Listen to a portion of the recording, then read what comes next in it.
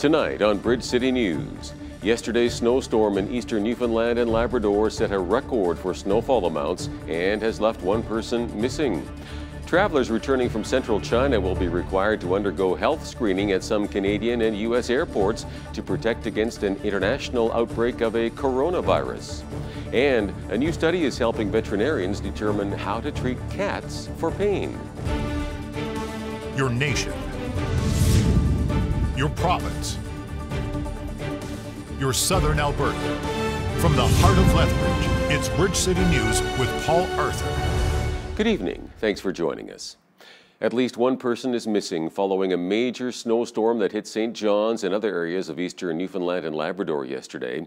The RCMP say 26-year-old Joshua Wall left his home in Roaches Line on foot yesterday, but never arrived at his friend's home.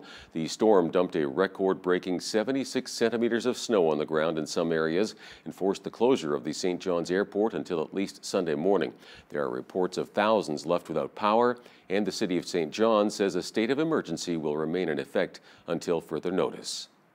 The Lethbridge Skating Club held its Frozen Fest event today at the ATB Center. There were lots of young skaters on hand, enthusiastically showing off their skills to family and friends. Skating coach Olea Tabulchanis explains. Uh, this, this event's a great opportunity for skaters at a beginner level to showcase their talents and get used to um, being in front of a crowd. Most of the little guys, they skate one to two times a week.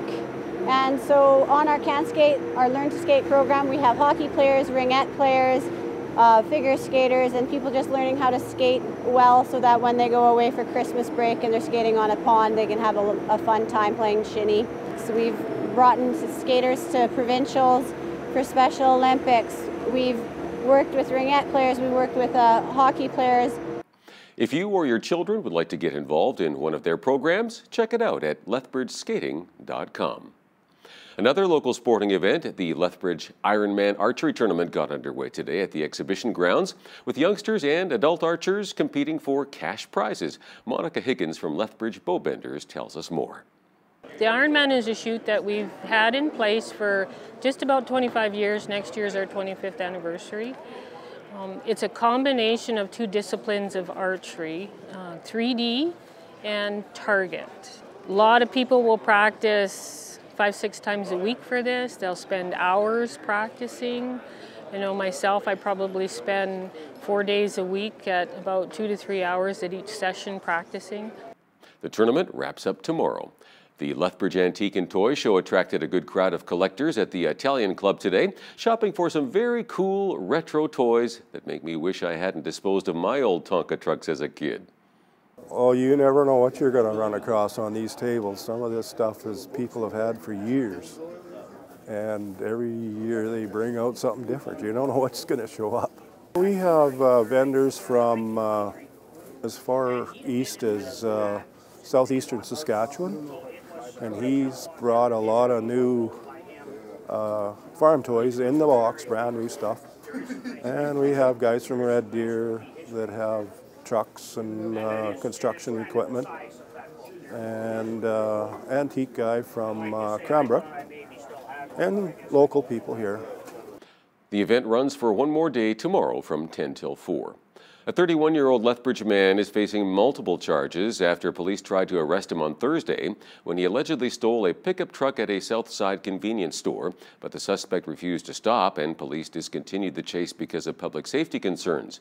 However, the following day, police investigated numerous reports of three hit and runs involving the same truck. Officers located the vehicle in Coaldale, only to discover the man had driven off with another truck. Finally, last night, police located and arrested Daniel McFadden inside the Lethbridge safe injection site. The governments of Canada and BC are turning over a large swath of land near Cranbrook to Indigenous peoples. The land was once planned for the Jumbo Glacier Resort, but a new agreement extinguishes all development permits and brings to an end a decades-long fight that went all the way to the Supreme Court. The Ktunaxa First Nation will receive $21 million to help develop and plan a protected area, while Glacier Resorts received an undisclosed payout in exchange for giving up the permits. The province of Manitoba has granted Manitoba Hydro a license to build an 80 kilometer transmission line that will help boost power sales to Saskatchewan.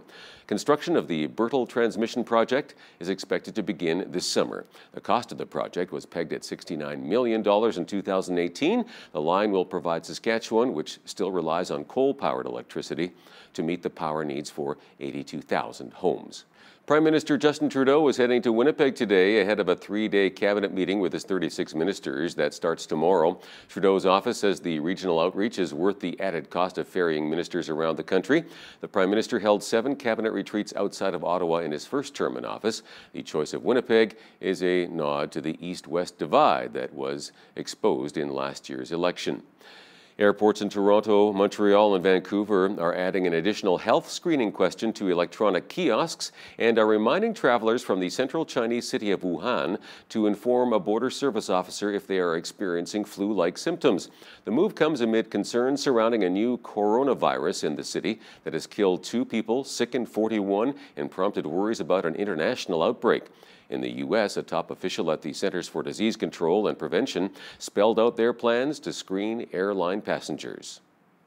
We're very concerned about this because it's an, attributed to a new coronavirus, and that's a disease that we haven't seen before. A coronavirus is a class of viruses that can cause the common cold, but it actually can also cause more serious diseases like MERS and SARS. Starting tonight, we're going to begin screening passengers arriving from Wuhan into the United States at the three airports that see the majority of those passengers. The airports are JFK, San Francisco, and Los Angeles. CDC will be deploying close to 100 people by this weekend to help support the staff in those airports with screening. When passengers disembark from these flights, they'll get questioned. Most passengers will get questioned get their temperature taken and be sent on their way. But passengers that are potentially at risk to have the novel coronavirus, that is, people who are sick and have been exposed, they're going to get additional questions and they may actually be sent for a medical workup. We're screening passengers returning from Wuhan into the United States because we want to detect this virus early. The earlier we detect this virus, the better we'll understand it, and the better we'll be able to protect, protect people. A new study out of the University of Calgary and the University of Montreal suggests feline facial expressions can help determine if a cat is in pain. Researchers say cats are notoriously hard to diagnose when it comes to their pain levels and historically are under prescribed medication as opposed to dogs. The study says tense whiskers, flattening ears, and closing or narrowing eyes can all be signs of suffering. Dr. Daniel Pang explains we were really interested in seeing if we could assess pain in cats, especially if we could assess it quickly in a really user friendly way. Well, we found uh, a way that seems to work pretty well, where we're looking at their facial features. So we're looking at their ears, their eyes, their whiskers, their muzzle, and the position of their head. So we're kind of combining those five things together, um, and in combination, it gives us a pretty good idea if cats are painful or not. With the ears specifically as an example, we're looking to see if their ears are going from a nice forward position when a cat is comfortable and happy. As they become more painful, the ears start to ro rotate backwards towards their tail, and they start to flatten off as well. Or with their eyes, for example, instead of having nice open rounded eyes, they, they start to squint, and eventually their eyes will close altogether. As veterinarians, we find it hard to identify pain in cats, and because of that, it's hard to make a decision or make the right decision sometimes as to when we should be giving pain relief, and tied to that, whether the pain relief we've given is actually working or not. Recapping one of our top news stories, residents in eastern Newfoundland and Labrador are digging out from yesterday's record setting snowstorm, which has also left one person missing. And a look at weekend weather, our seemingly endless week of bitterly cold temperatures is finally coming to an end. Skies should clear overnight with a low of minus 20, but the temperature will actually rise to minus 8 by morning with that Chinook rolling in. For tomorrow, sunshine and a high of plus 2, along with a west wind gusting from 40 to 60. Many of us know what it's like to deal with the effects of chronic pain. Are there any practical solutions? Lethbridge naturopathic Dr. Clayton Cogano thinks so. Hal Roberts has that interview coming right up. But first, here's a look at what's happening in and around your community.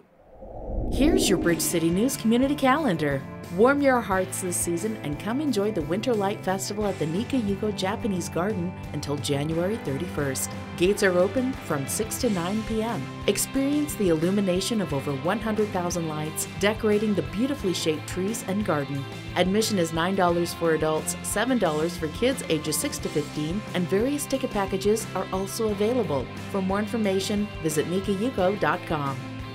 Blankets for Canada Lethbridge meets Thursdays from 10 a.m. to noon at Southminster United Church. Share your knitting and crocheting skills to keep those who are in need in our community warm. Donations of yarn and financial gifts are greatly appreciated and can be dropped off at the church. For more information, visit blanketsforcanada.ca or call 403 329 6586.